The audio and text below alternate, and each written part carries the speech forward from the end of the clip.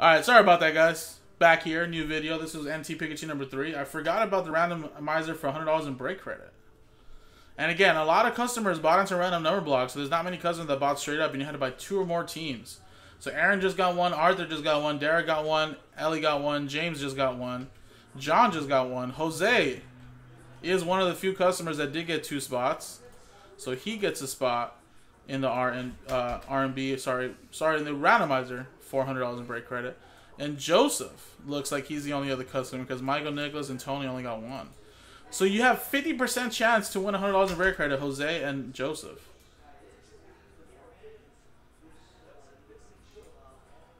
There you go. So let's get a little dice roll here, and I, I can't. I, I, I mean, it's gonna happen. Someone's gonna win hundred dollars in break credit just for buying two or plus teams. So good luck. Let's roll it. And six and a three, nine times. Good luck.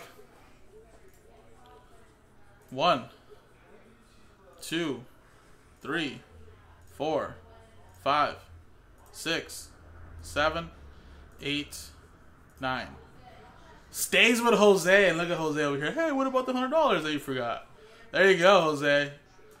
Good karma. I'll send you hundred dollars in break credit right now, man. Appreciate it.